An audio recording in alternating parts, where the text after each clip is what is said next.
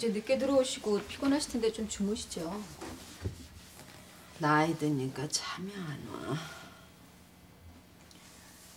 대한호텔 둘째 아들이요. 음. 우리 미영이하고 만나기로 했는데 그 댁에서 생월 생시를 묻는데요. 어떻게 해요? 시를 모르니 궁합 보려나 보지? 그런가 봐요. 쥐어서 댈 수도 없고 천상. 어디 가서 걔 시를 뽑아봐야지. 그럴 수 있대요? 응.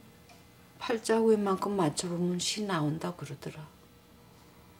그렇게라도 해야겠네요. 어디 잘 보는 데가 그럼 어머니께서 좀 알아서 해주세요. 내일 알려줘야 돼요. 뭐 서둘러야겠네. 음.